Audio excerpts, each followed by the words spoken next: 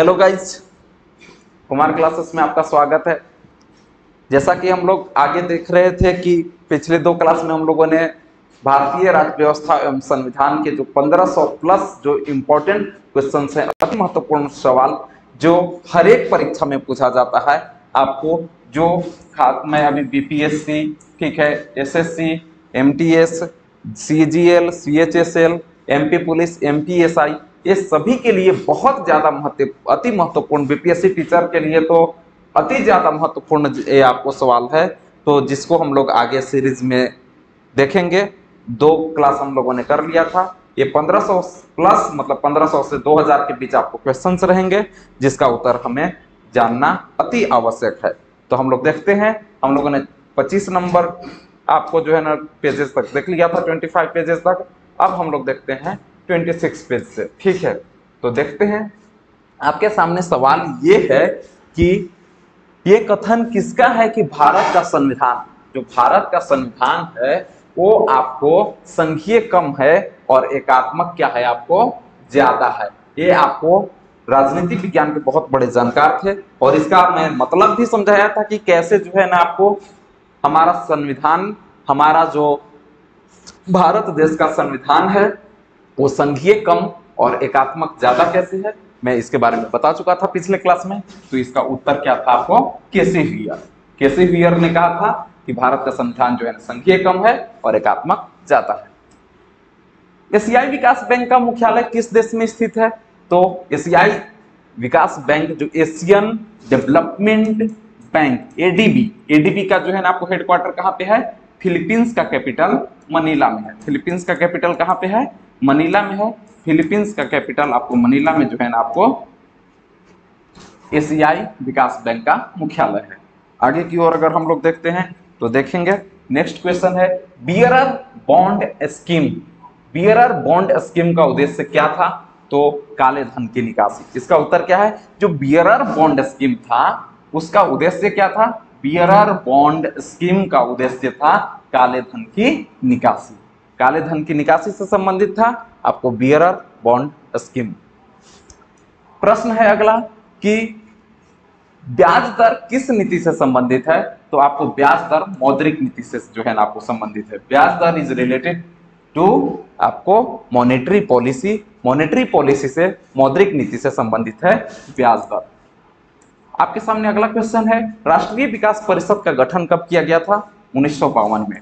जो national development corporation है, राष्ट्रीय विकास परिषद नेशनल डेवलपमेंट कॉरपोरेशन राष्ट्रीय विकास परिषद का गठन आपको 1952 में किया जाता है। राष्ट्रीय विकास परिषद का गठन कब होता है? उन्नीस सौ बावन ईस्वी में होता है। शेयर बाज़ार में अल्फ़ा फैक्टर का अर्थ क्या होता है? शेयर बाज़ार में अल्फ़ा फैक्टर का मतलब क्या होता है? तो अल्फ़ा फैक्टर का मतलब होता है शेयर बाज़ार में आपको ऐसी अवधारणा जो किसी शेयर को अंतर अंतर्निर्दिष्ट अस्थिरता का मापन करती है।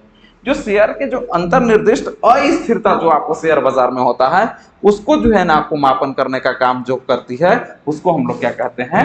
अल्फ़ा फैक्टर कहते हैं। सदस्य संख्या के आधार पर भारत की सबसे बड़ी ट्रेड यूनियन सदस्य संख्या के आधार पर जो है ना आपको भारत की सबसे बड़ी ट्रेड यूनियन इंटक है। कौन सी है? आपको सदस्य संख्या के आधार पर भारत का सबसे बड़ा ट्रेड यूनियन आपको इंटक है। ठीक है। किस अधिनियम के द्वारा भारत में वर्ग, जाति, धर्म आदि के आधार पर पृथक निर्वाचन क्षेत्र बनाने का जो है ना प्रावधान किया गया था? किस अधिनियम के द्वारा भारत में वर्ग, जाति, धर्म आदि के आधार पर जो है ना सेपरेट इलेक्ट्रोड जो इलेक्ट्रोड का जो है ना आपको क्षेत्र बनाने का प्रावधान किया गया था, वो किस अधिनियम मतलब पृथक निर्वाचन का जो है ना आपको प्रावधान किस अधिनियम के द्वारा किया गया था, मैं कल भी बताया था 1909 में आपको मार्ले मिंटो सुधार आया था, उसके द्वारा आपको पृथक निर्वाचन क्षेत्र बनाने का काम किया गया था। धर्म, वर्ग, जाति के, आदि के आधार पे। धर्म, वर्ग, जाति आदि के आधार पे सेपरेट इलेक्ट्रोड का जो है ना आपको प्रावधान किस अधिनियम के द्वारा किया गया था? तो भारत सरकार अधिनियम 1909 जिसे मार्ले मिंटो सुधार अधिनियम के द्वारा, के नाम से भी जाना जाता है, मार्ले मिंटो रिफॉर्म्स के नाम से भी जाना जाता है। अंतरराष्ट्रीय परिषद के संबंध में उपबंध संविधान के किस अनुच्छेद में वर्णित है? अंतर्राज्यीय परिषद के संबंध में उपबंध संविधान के किस अनुच्छेद में वर्णित है? तो अनुच्छेद दो में जो है, आपको अंतरराज्यीय परिषद के संबंध में उपबंध किया गया है। हमारे संविधान के अनुच्छेद नंबर दो आर्टिकल दो में आपको अंतरराज्यीय परिषद के संबंध में प्रावधान किया गया है। सरकारी उपक्रम समिति, ठीक है, में कुल 22 सदस्य होते हैं। सरकारी उपक्रम समिति में जो है ना, टोटल कितने सदस्य होते हैं? 22 सदस्य होते हैं, जिसमें लोकसभा से 15 और राज्यसभा से कितने होते हैं? सात होते हैं। सरकारी उपक्रम समिति, जिसे हम लोग वित्तीय समिति के नाम से भी जानते हैं, इसमें कुल 22 सदस्य होते हैं, जिसमें लोकसभा से आपको 15 और राज्यसभा से सात सदस्य होते हैं। राजस्थान उच्च न्यायालय एवं इलाहाबाद उच्च न्यायालय की स्थापना जो है ना, कब हुई थी? तो राजस्थान का 1949 में। राजस्थान का कब हुआ था आपको? 1949 में, उन्नीस में राजस्थान हाई कोर्ट जिसका राजस्थान हाई कोर्ट कहाँ पे है? कल बताया था हमने जोधपुर में है। कहाँ पे है? राजस्थान का हाई कोर्ट जोधपुर में है। उच्च न्यायालय आपको राजस्थान का जोधपुर में है। उसकी स्थापना आपको उन्नीस सौ उनचास में होती है और आपको अठारह में इलाहाबाद हाईकोर्ट का स्थापना होता है। जो इलाहाबाद हाई कोर्ट है उसका स्थापना कहाँ पे हो, कब होता है आपको? अठारह ईस्वी में। इलाहाबाद हाई कोर्ट जो है ना आपको उत्तर प्रदेश का हाईकोर्ट है। किस संविधान संशोधन के द्वारा राष्ट्रपति, प्रधानमंत्री एवं लोकसभा के निर्वाचन संबंधी विवाद न्यायालय के क्षेत्राधिकार से बाहर किया गया? किस संविधान संशोधन के द्वारा राष्ट्रपति, प्रधानमंत्री एवं लोकसभा के निर्वाचन संबंधी जो विवाद हैं, वो न्यायालय के क्षेत्राधिकार से बाहर कौन, कब किया गया? उनचालीसवां संविधान संशोधन के द्वारा जो है ना, आपको राष्ट्रपति का जो विवाद होता है, प्रधानमंत्री का जो विवाद होता है लोकसभा का जो निर्वाचन से संबंधित जो कुछ भी विवाद होता है, उसको आपको न्यायालय के क्षेत्राधिकार से बाहर कर दिया गया। आपको उनचालीसवां संविधान संशोधन उन्नीस के द्वारा। मतलब राष्ट्रपति, प्रधानमंत्री, ये सब का जो है विवाद, सीधे जो है ना आपको निर्वाचन संबंधी विवाद सुप्रीम कोर्ट जो है ना देखता है। Next question. नेक्स्ट स्लाइड की ओर चलते हैं। भारतीय संविधान के किस अनुच्छेद में प्रेस की स्वतंत्रता से जो है ना, आपको वर्णित है। तो अनुच्छेद नंबर 19 का जो है ना कम है मैंने कल ही बताया था, या 19 के ए में आपको प्रश्न ये है कि भारतीय संविधान के कौन से आर्टिकल में, कौन से अनुच्छेद में प्रेस की आज़ादी की बात कही गई है? तो 19 के कम में। 19 के ए में। ठीक है? अब है, राष्ट्रपति किस सूची के विषयों पर अध्यादेश जारी नहीं कर सकता है? राष्ट्रपति आपको राज्य सूची के विषय पर जो है ना अध्यादेश जारी नहीं कर सकता है। राष्ट्रपति के द्वारा जो है ना आपको अध्यादेश लाने की शक्ति है। ऑर्डिनेंस ऑर्डिनेंस जो है ना आपको राष्ट्रपति किस अनुच्छेद के तहत लाता है? अनुच्छेद नंबर 123 अनुच्छेद नंबर 123 के तहत जो है राष्ट्रपति के पावर राष्ट्रपति के पास पावर होता है तो आपको अध्यादेश ला सकता है ऑर्डिनेंस ला सकता है तो उस पे आपको राज्य सूची के जो सब्जेक्ट्स हैं, जो स्टेट लिस्ट में आते हैं उस स्टेट लिस्ट में जितने भी सब्जेक्ट हैं, उस पर राष्ट्रपति अध्यादेश नहीं जारी कर सकता है। नेक्स्ट क्वेश्चन आपको सर्वप्रथम किस राज्य में लोक अदालत आयोजित की गई थी? तो आपको सबसे पहले लोक अदालत जो है ना, गुजरात राज्य में आयोजित की गई थी। कौन से राज्य में की गई थी? गुजरात राज्य में आपको लोक अदालत आयोजित की गई थी सबसे पहले। बयालीसवां संविधान संशोधन संविधान के किस अनुच्छेद में मौलिक कर्तव्य को जोड़ा जाता है? तो आपको बोला कि बयालीसवां संविधान संशोधन द्वारा हमारे संविधान के किस अनुच्छेद में मौलिक कर्तव्य को जोड़ा जाता है? अनुच्छेद इक्यावन के ए में। अनुच्छेद इक्यावन के ए में। ठीक है? आपको मौलिक कर्तव्य को जोड़ा जाता है बयालीसवां संविधान संशोधन द्वारा। बयालीसवां संविधान संशोधन होता कब है? तो आपको उन्नीस सौ छिहत्तर में बयालीसवां संविधान संशोधन होता है और आपको मैं बताऊँ तो मौलिक कर्तव्य को हम लोगों ने कहा से लिया था? United Union of Soviet Socialist Republic Soviet संघ से लिया था। मौलिक कर्तव्य को कहाँ से लिया था? सोवियत संघ कह सकते हैं, या उसके साथ साथ आप कह सकते हैं, इसको रसिया से लिया गया था, रूस से लिया गया था। क्योंकि सोवियत संघ का उत्तराधिकारी कौन? राज्य बना था। आपको, जब सोवियत संघ का विघटन हुआ था, सोवियत संघ का विघटन कब हुआ था? ये भी मैं आप लोग को जानकारी दे दूँ। तो सोवियत संघ का विघटन हुआ था उन्नीस में। जब सोवियत संघ विघटित हुआ, जब डिजोल्यूट हुआ तो उसका उत्तराधिकारी राज्य कौन बना आपको? रूस बना, रसिया बना। ठीक है?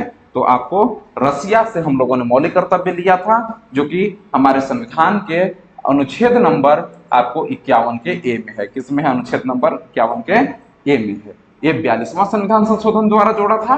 कब जोड़ा था? उन्नीस सौ छिहत्तर में जोड़ा था। मौलिक कर्तव्य से जो है ना, आपके पास क्वेश्चन मैं पूछ रहा हूँ। बताइएगा कि मौलिक कर्तव्य से संबंधित कौन मतलब मौलिक अधिकार को जो है ना, किस अनुशंसा के समिति, किस समिति के अनुशंसा पे जो है, किस समिति की सिफारिश पे हम लोगों ने जोड़ा था? तो सरदार स्वर्ण सिंह समिति। क्या? सरदार स्वर्ण सिंह समिति। सरदार स्वर्ण सिंह समिति के सिफारिश पे हम लोगों ने मौलिक अधिकार को जोड़ा था। आगे। संविधान के संरक्षक के रूप में सर्वोच्च न्यायालय का अधिकार विश्व के किस संविधान से लिया गया है? तो संविधान का संरक्षक जो है ना हमारा जो सर्वोच्च न्यायालय है संविधान का संरक्षक कौन है? आपको प्रोटेक्टर प्रो, यहाँ पे जो है हम कहा जाता है अंग्रेज़ी में प्रोटेक्टर ऑफ़ आवर कॉन्स्टिट्यूशन हमारे संविधान का संरक्षक कौन है? हमारे कॉन्स्टिट्यूशन का संरक्षक कौन है? तो सुप्रीम कोर्ट है। ये भी क्वेश्चन पूछ सकता है कि हमारे संविधान का संरक्षक किसे कहा जाता है? तो संविधान का संरक्षक क्या होगा आपको? संविधान का संरक्षक जो है ना, या संविधान का रक्षक जो है ना, सुप्रीम कोर्ट को कहा जाता है, सर्वोच्च न्यायालय को कहा जाता है। संविधान का संरक्षक किसे कहा जाता है? सर्वोच्च न्यायालय को कहा जाता है। संविधान का संरक्षक आपको सर्वोच्च न्यायालय को कहा जाता है। क्वेश्चन ये है कि आपको ये जो संविधान के संरक्षक के रूप में सर्वोच्च न्यायालय का अधिकार किस देश के संविधान से लिया था तो हम लोगों ने लिया था इसको अमेरिका के संविधान से लिया था, आपको संयुक्त राज्य अमेरिका के संविधान से लिया था। भारत की संप्रभुता किसमें निहित है? ठीक है, भारत की संप्रभुता भारत की जनता में निहित है। अरे, भारत की जनता में इसलिए निहित है कि जब हम लोग भारत का संविधान खोलेंगे तो भारत के संविधान में आपको सबसे जो पहला प्रियम्बल जैसे ही खोलेंगे तो सबसे पहला जो वाक्य मिलेगा, वो आपका स्टार्ट ही होता है, आपको पहला वाक्य we the people of India से। किससे?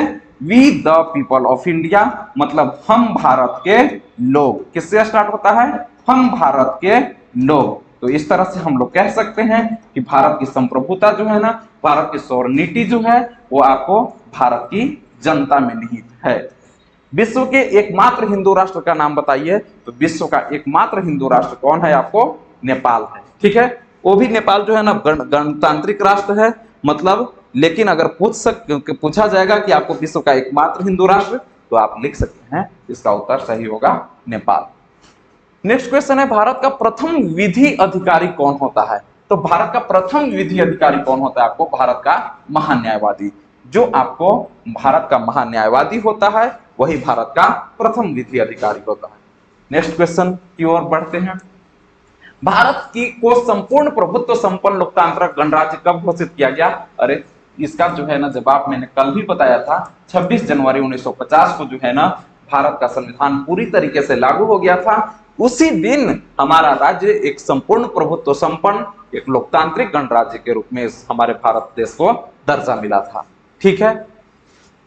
संप्रभुत्व संप्रभुत्व, संपूर्ण प्रभुत्व संपन्न का मतलब मैंने बताया था कि आपको इसका मतलब यह होता है कि एक ऐसा देश जिसमें किसी भी विदेशी सत्ता का जो है ना, हस्तक्षेप नहीं है।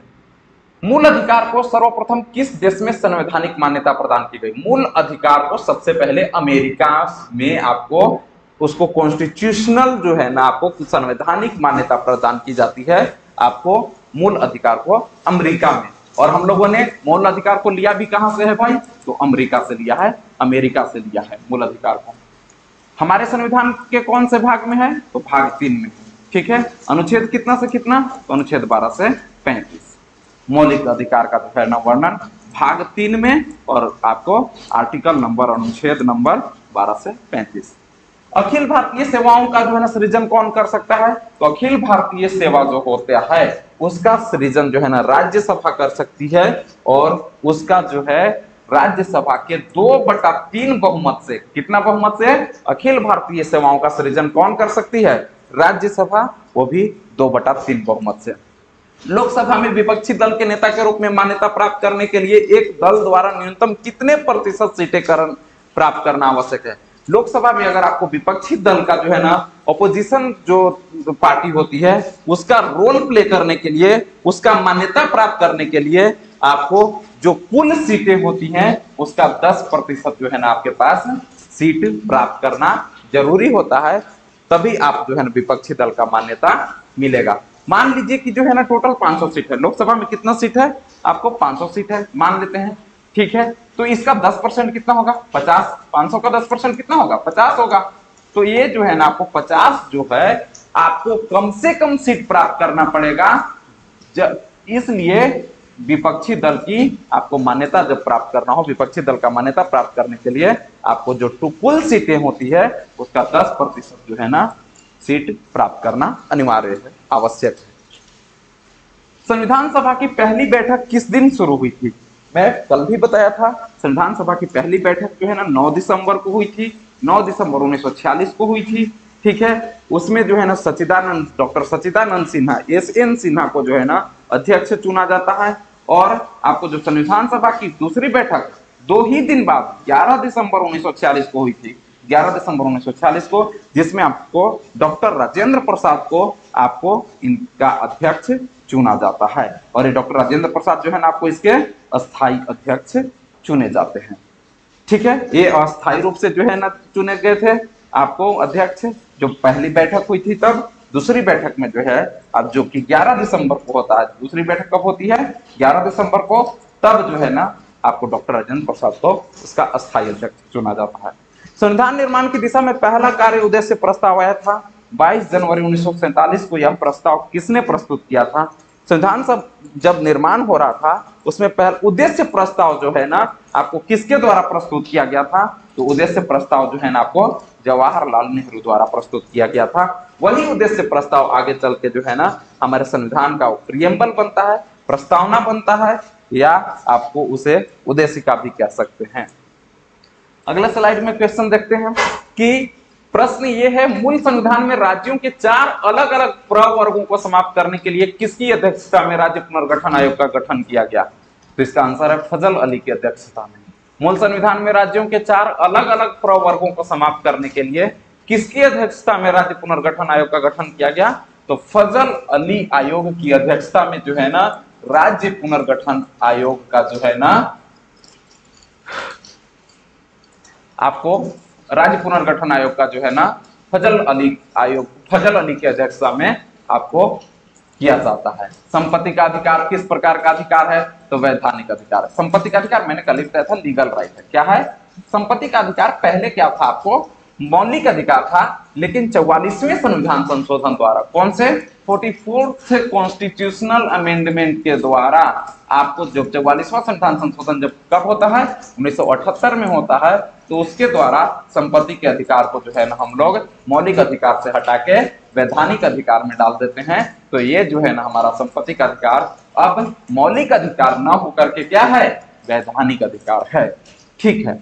किस वर्ष संसद ने छुआछूत, जो अस्पृश्यता होता है, उस छुआछूत, जो अपराध अधिनियम को संशोधित करके सिविल अधिकार संरक्षण अधिनियम के नाम से पारित किया।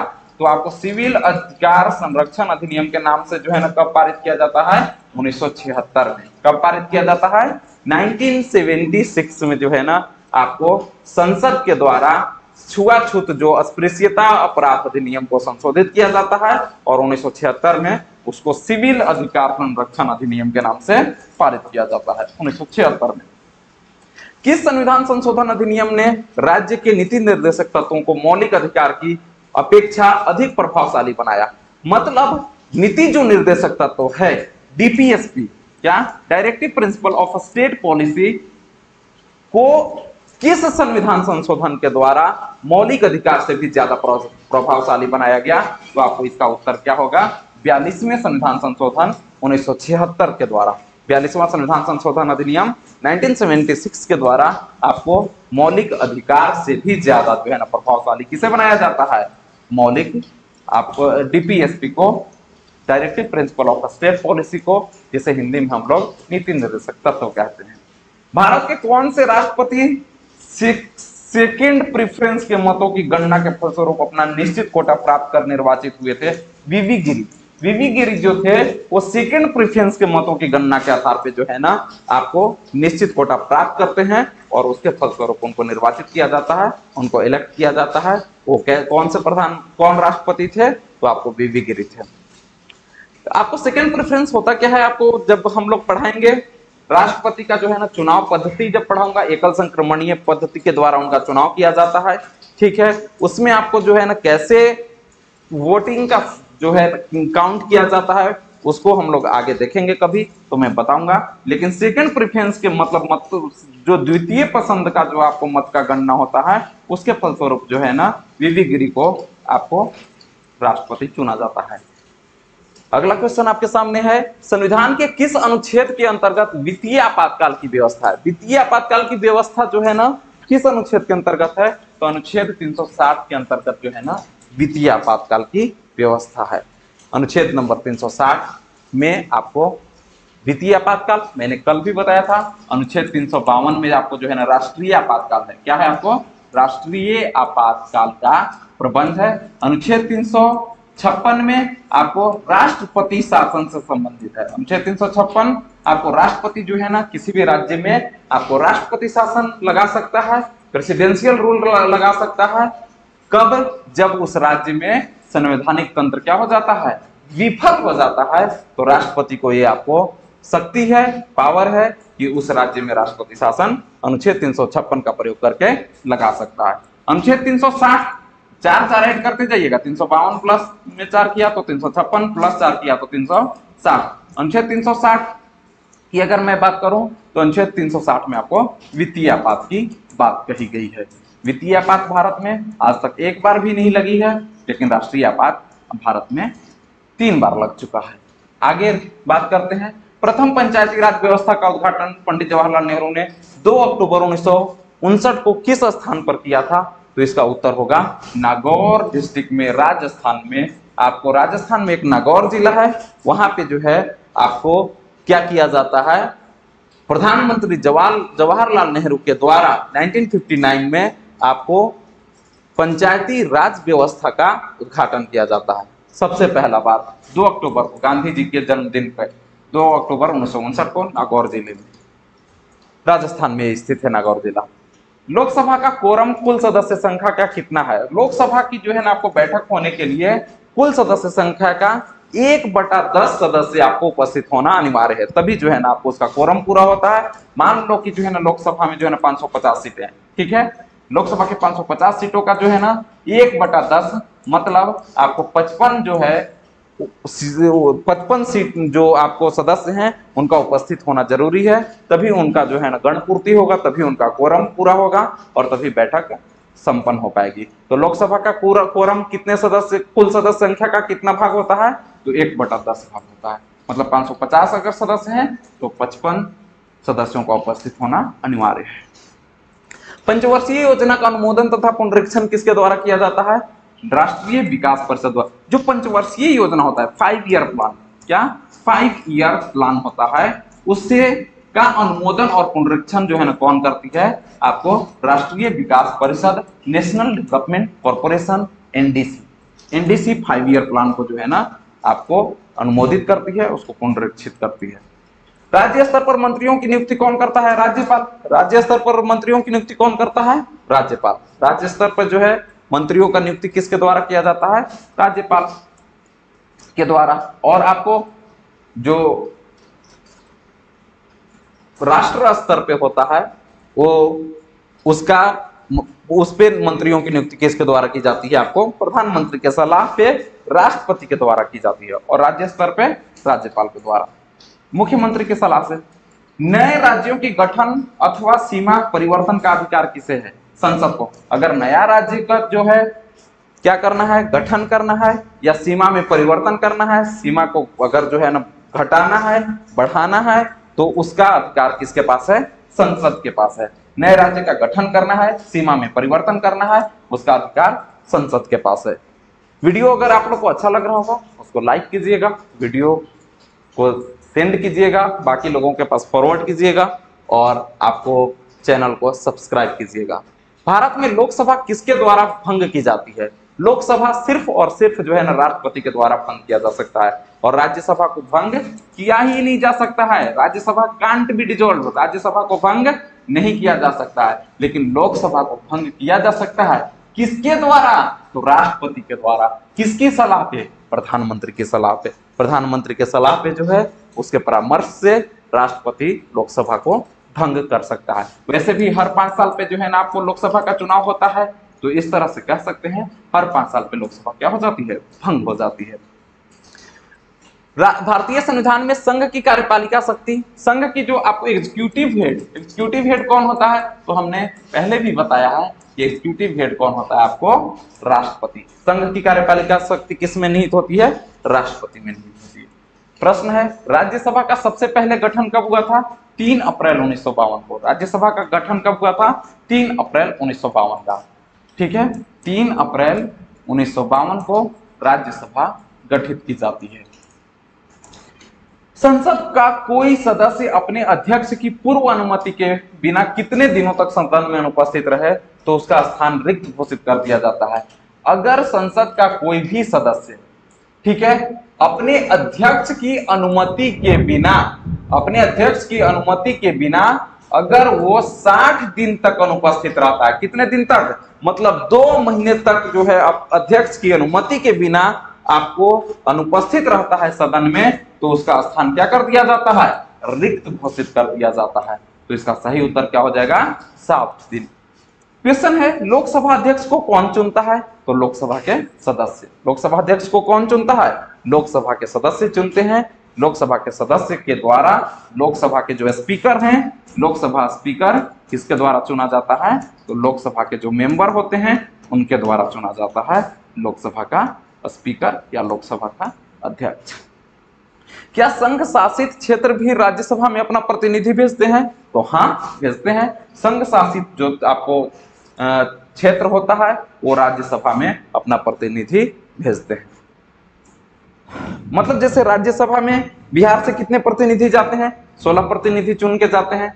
कितने प्रतिनिधि? सोलह। वैसे ही उत्तर प्रदेश से कितने? हर एक राज्यों से जाते हैं। तो उत्तर प्रदेश से इकतीस जाते हैं। ठीक है? लोकसभा में बिहार से कितने जाते हैं? चालीस जाते हैं। तो उसी तरीके से जो है ना यूपी में अस्सी जाते हैं। तो बोल रहा है कि आपको जो संघ शासित प्रदेश होता है, जो संघ शासित क्षेत्र होता है, जिसको हम लोग यूनियन टेरेटरी बोलते हैं, उसके क्षेत्र से भी राज्यसभा में प्रतिनिधि भेजे जाते हैं। तो बिल्कुल हाँ सही उत्तर है। राज्य के साथ साथ संशासित क्षेत्रों से भी राज्यसभा में आपको प्रतिनिधि भेजे जाते हैं। केंद्र सरकार का संवैधानिक प्रधान कौन होता है? राष्ट्रपति। केंद्र सरकार का संवैधानिक प्रधान कौन होता है? राष्ट्रपति। केंद्र सरकार का जो संवैधानिक प्रधान होता है, वो कॉन्स्टिट्यूशनल हेड कौन है? कॉन्स्टिट्यूशनल हेड आपको संवैधानिक प्रधान संवैधानिक प्रधान कौन है? आपको राष्ट्रपति है। लेकिन रियल हेड वास्तविक मायने में प्रधान प्रधान कौन है? तो प्रधानमंत्री। राष्ट्रपति पद के चुनाव संबंधी विवाद को किसके द्वारा जो है निर्देशित किया जाता है? थोड़ी देर पहले मैंने बताया कि जो आपको राष्ट्रपति से संबंधित जो विवाद होता है, वो सुप्रीम कोर्ट के द्वारा निर्देशित किया जाता है। किसके द्वारा निर्देशित किया जाता है? सुप्रीम कोर्ट के द्वारा। देशी नरेशों के प्रीवी पर्स और विशेष अधिकारों को किस संविधान संशोधन द्वारा जो है ना समाप्त कर दिया गया था? तो मैं बताया था, कल ही आपको जो जो देशी रियासतों के जो राजा थे, जो आपको छोटी छोटी रियासतें थी बड़ी बड़ी रियासतें थी, उसके जो राजा थे उसको एक विशेष प्रकार का अधिकार मिलता था, जिसे हम लोग प्रिवी पर्स कहते थे। उस प्रिवी पर्स को जो है ना, आपको इंदिरा गांधी के द्वारा छब्बीसवां संविधान संशोधन, इंदिरा गांधी के आपको जो है ना टाइम में इंदिरा गांधी गांधी जब प्रधानमंत्री होती है, उस उनके शासनकाल में आपको छब्बीसवां संविधान संशोधन उन्नीस सौ इकहत्तर में होता है। उसके द्वारा जो है ना, प्रिवी पर्स को क्या कर दिया जाता है? जो विशेष अधिकार राजाओं को दिया जाता है, उसको खत्म कर दिया जाता है, समाप्त कर दिया जाता है। तो प्रीवी पर्स से संबंधित कौन सा जो है ना आपको कॉन्स्टिट्यूशनल अमेंडमेंट है? छब्बीसवां संविधान संशोधन 1971 संविधान सभा का गठन किसकी सिफारिश पर किया गया था? कैबिनेट मिशन योजना की सिफारिश पर किया गया था संविधान सभा की गठन। संविधान सभा का गठन आपको कैबिनेट मिशन योजना जो है ना 1946 में होती है। 1946 में जो है ना आती है आपको कैबिनेट मिशन योजना, उसी के सिफारिश पे संविधान सभा का गठन किया गया था। और संविधान सभा का पहला बैठक 9 दिसंबर 1946 को होता है। संविधान का कौन सा अनुच्छेद सामाजिक समानता का अधिकार प्रदान करता है? अनुच्छेद 15 जो है ना, आपको सामाजिक समानता का अधिकार प्रदान करता है। हमारे संविधान का कौन सा अनुच्छेद करता है? सामाजिक समानता का अधिकार। तो आपको सामाजिक समानता का अधिकार अनुच्छेद 15 के द्वारा प्रदान किया जाता है।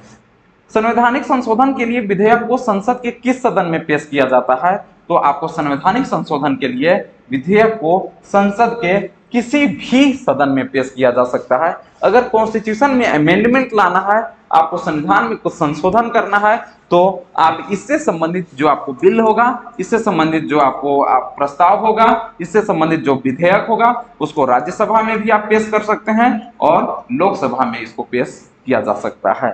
किसी भी सदन में आप संवैधानिक संशोधन से संबंधित जो विधेयक होगी, उसको किसी भी आपको सदन में पेश किया जा सकता है, या तो लोकसभा में भी और या राज्यसभा में भी। रही बात तो मैं कल बात किया था इसके बारे में थोड़ी सी, कि जो आपको संवैधानिक संशोधन की प्रक्रिया है, वो कहाँ से लिया गया है? तो संविधान में संशोधन की प्रक्रिया आपको दक्षिण अफ्रीका से लिया गया है, साउथ अफ्रीका से लिया गया है। ये दक्षिण अफ्रीका से तो लिया गया है, लेकिन हमारे संविधान के किस अनुच्छेद में जो है ना संविधान संशोधन की प्रक्रिया है तो हमारे संविधान के आपको अनुच्छेद नंबर 360 में कॉन्स्टिट्यूशनल अमेंडमेंट मतलब संविधान संशोधन की प्रक्रिया। कॉन्स्टिट्यूशनल अमेंडमेंट की जो है ना आपको प्रक्रिया हमारे संविधान के अनुच्छेद नंबर तीन सौ अड़सठ में है आर्टिकल नंबर 368 में है। राष्ट्रपति पद पर आपको सबसे कम अवधि के लिए आपको पद आसीन करने वाले कौन व्यक्ति हैं? तो सबसे कम समय के लिए जो है ना आपको डॉक्टर जाकिर हुसैन जो है ना आपको राष्ट्रपति पद को सुशोभित करते हैं। सबसे कम समय तक जो है ना पद पे रहने वाले डॉक्टर जाकिर हुसैन थे। उनकी जो है ना राष्ट्रपति पद पे रहते ही इनकी क्या हो जाती है? मृत्यु हो जाती है। तो आपको सबसे कम समय पे जो है ना, सबसे कम समय तक कौन थे आपको राष्ट्रपति पद को सुशोभित करने वाले? Doctor doctor Zakir Hussain. राज्यों का भाषाई आधार पर जो है ना गठन किस वर्ष किया गया था? भाषा के आधार पर राज्यों का गठन उन्नीस में किया गया था। भाषा के आधार पर राज्यों का गठन कब किया गया था? 1956 में आपको भाषा के आधार पर राज्यों का गठन किया गया था। भारतीय संविधान में किस अनुच्छेद को संविधान की आत्मा का, आत्मा के नाम से जाना जाता है? तो हमारे भारतीय संविधान में जो आर्टिकल नंबर जो है ना आपको 32 है, जिसमें संवैधानिक उपचारों का अधिकार है। क्या है?